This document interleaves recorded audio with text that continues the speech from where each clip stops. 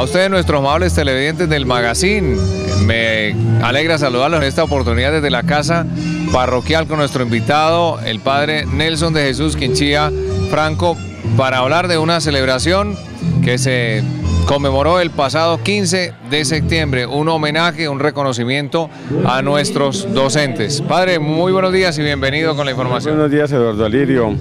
Eh, pues quiero compartir a todos los oyentes de Telezapatoca, a todos los televidentes, la satisfacción tan grande por la experiencia de la celebración del Día del Maestro que tuvimos el pasado martes 15 de septiembre, que es una costumbre de la iglesia, de las parroquias, resaltar la labor tan incansable de los docentes de las diferentes instituciones educativas.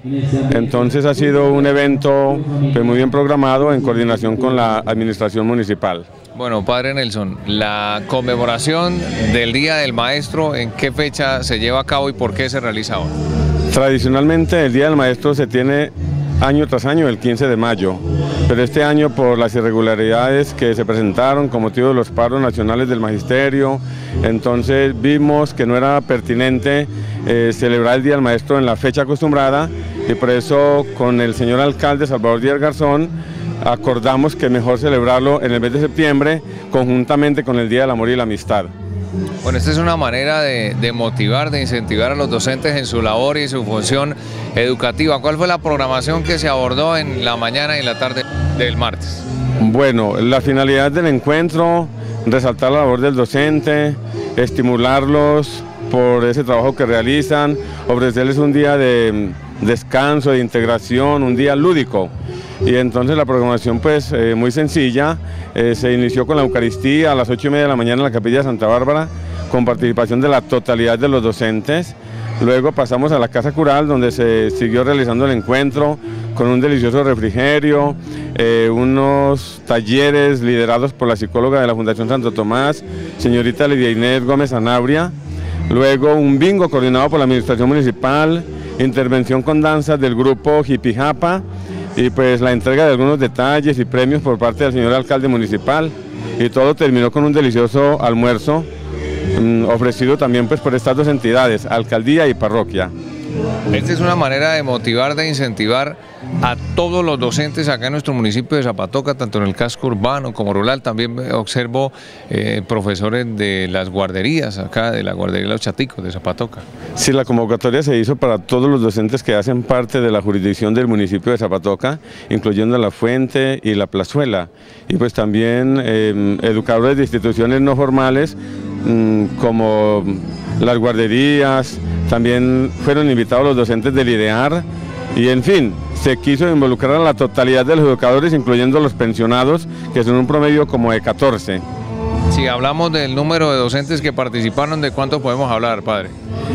150 eh, es el número casi exacto de las personas que participaron en la gran celebración del Día del Educador y también incluyendo a los directivos y administrativos de los diferentes colegios o instituciones educativas. ¿Cuál es el mensaje que le da usted a los profesores en esta tarea, en esta responsabilidad tan grande de educar, de, dirigir y de, de, esta forma pues orientar una juventud, una niñez? Bueno, desde la celebración eucarística a través de la humilía se quiso enfatizar mucho en la importancia de tener a Jesucristo, maestro de maestros como modelo, y se invitó, y yo quiero invitar a todos los docentes que nunca pierdan de vista este punto de referencia, que es Jesús, el omnisciente, el inspirador de toda sabiduría, de todo conocimiento, de toda pedagogía, y entonces los docentes, en la medida en que tengan a Jesucristo como su modelo en el aula de clase, en su institución educativa, pueden tener la garantía de que van a ser docentes idóneos, muy eficientes en el cumplimiento de su trabajo, pues que Dios y la sociedad les encomienda. Y en representación de los docentes pensionados, la señorita Socorro Serrano Luengas y sus impresiones de lo que fue este agasajo del Día del Maestro. Fue maravilloso. Hacía años que no participaba en un homenaje como estos. En realidad me siento eh, muy, eh, muy ¿qué? Eh, agasajada y agradecer al padre y al señor alcalde este homenaje que de pronto es para nosotros como de pronto sea el último, nunca sabe, pero lo llevamos en el alma. Muchas gracias por ese homenaje, muy amables. Bien, y la representación de las veredas de nuestro municipio de Zapatoca en materia de docencia con el profesor Leonel Quintero. ¿Cómo estuvo ese reconocimiento por parte de quienes organizaron este homenaje y este agasajo a ustedes los docentes? Bueno, eh, muy, bueno, muy buenas tardes ya. Eh, quiero, primero de todo, con mucha humildad, darle gracias a Dios por las capacidades que ha puesto en mí. Eh, a raíz de eso, eh, hoy tuve la oportunidad de ser reconocido como maestro líder en el emprendimiento, la investigación de las Olimpiadas socioculturales y deportivas. Igualmente se hizo entrega de otros reconocimientos a otras instituciones educativas como la Plazuela, también eh, por, las, por las Olimpiadas socioculturales y otros premios que muy gentilmente el señor alcalde con la primera dama eh, hizo entrega eh, en este día eh, de conmemoración para los maestros, como también día, de, día del amor y la amistad. Bueno, ¿cómo es ese compartir especial, el poderse encontrar con todos ustedes que hablan el mismo idioma de la docencia? Ah, no, Eduardito, esto es muy espectacular, hermano, porque esto nos eh, hablaba un rector que, hace poco llegó a nuestra, a nuestra familia Magisterio Zapatoca como rector de la plazuela, que él nunca lo había vivido eh, en ninguna parte donde él ha asistido. Esto solamente se vive acá en Zapatoca y esto es debidamente al emprendimiento de, un equipo encabezado por el señor alcalde y ahora en, en unión con el con nuestro párroco, el, padre Nelson de Jesús Quinchía. Eh, tengo entendido de una entrega de una fábrica de agua para algunas veredas del municipio de Zapatoca que pues tienen falencia en, el líquido. ¿Qué veredas recibieron? Sí, Eduardito, eh, debido al calentamiento global, que eso no es ajeno para nadie hoy en día, eh, ya lastimosamente nuestro municipio también está dentro de los de los puntos vulnerables del país que están acaecidos por este preciado líquido. Eh, en nuestra institución educativa Palo Blanco, afortunadamente nuestras ocho sedes eh, aún contamos con ese preciado líquido, pero la institución educativa Las Puentes ya hay varias de las sedes, como el caso de la Cuchilla San Pablo, San Isidro, el, el Batán, eh, están, con, eh, están faltos de, de, este, de, este, de este preciado líquido. Dentro de esas eh, escuelas seleccionadas o esas sedes, en el día de hoy está la, la Cuchilla San Pablo, San Isidro y el Coscal. Vamos a conocer de estas máquinas, de estas fábricas de agua con el señor Luis Ignacio Serrano. Estos fueron algunos de los, de los premios que se entregaron hoy en este Día del Maestro. Bienvenido en, este, en esta ocasión con la información. Háblenos de estas máquinas maravillosas. Bueno, muchas gracias. Eh, lo que pasa con estas máquinas es que se ha querido eh, traer agua hacia el municipio de Zapatoca por medio de estas máquinas. La máquina que hace, hace un proceso de condensación donde toma el aire por esta parte y lo bota por esta y así ella eh, obtiene el agua. Aquí vemos un poco los filtros.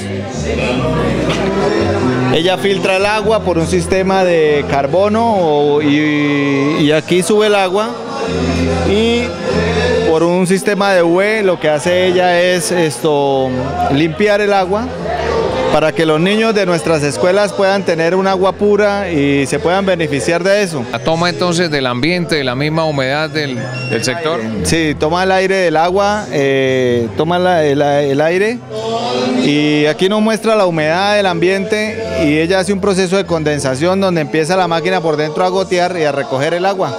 ¿Dónde se han implementado? ¿Dónde están funcionando estas máquinas? Estas máquinas han funcionado en La Guajira en este momento que tienen problemas de sequía en la costa, en la Mesa de los Santos. Hasta ahora estamos llegando a la Mesa de los Santos a, implementar estas máquinas a los lugares más secos de Colombia. ¿Qué tecnología es? Esto es una tecnología americana, pero la, en este momento las están produciendo en China. Bueno, y en este caso para Zapatoca llegaron cuántas? Eh, por ahora eh, tres máquinas, pero estamos tratando de que se puedan para más escuelas y para más personas. Por el Colegio Sagrado Corazón de Jesús, la profesora Zaida Milena Vega. ¿Y cómo se sintió en este encuentro con los docentes? Bueno, realmente me sentí pues muy atendida. La administración municipal y la, parroquia siempre se ha preocupado por estimular mucho el, el trabajo y la labor educativa que hacemos los docentes aquí en el municipio, no solo en la parte urbana, sino también en la parte rural. Eh, siempre se han hecho celebraciones muy dinámicas, muy lúdicas, pero también enfocados en, también la espiritualidad, ¿no? con la Eucaristía. Eh, con las actividades que se hicieron acá. Entonces, de verdad que ahí uno se siente como halagado de la labor que uno hace eh, educando a los muchachos y a los niños de Zapatoca. Y con Julián Díaz León, que es uno de los docentes más jóvenes que tenemos acá en el municipio de Zapatoca, vamos a terminar esta nota en este homenaje, en este agasajo especial a los docentes que se ha conmemorado en este 15 de septiembre. Julián, bienvenido y, y cómo se siente a su corta edad de ser ya pues docente y tener esta responsabilidad de educar. Bueno, Eduardo, pues buenas noches para todos. La verdad muy contento por el apoyo que me han brindado los papás, los estudiantes, eh, los mismos profesores y directivos del colegio. Eh, es una experiencia bastante, bastante bonita. Eh, ya metido bastante en el cuento de la docencia, ya estoy iniciando carrera como profesor y pues seguir cultivando jóvenes, que es lo que nos interesa como docentes. Bueno, en estas nuevas generaciones que aparecen hoy día, donde el mundo va cambiando cada vez más, ¿qué tal es esta tarea y este oficio? Bueno, pues personalmente me parece un poco más complicada porque ya las libertades para los muchachos son más grandes, pero ahí es donde entra la creatividad de cada docente, de cómo enseñar su materia, de cómo dirigirla bien a sus estudiantes y que ellos la aprendan de una manera perfecta. Este es el homenaje que se le ha rendido a nuestros docentes, a nuestros profes, como con cariño les decimos, quienes son encargados de, de educarnos.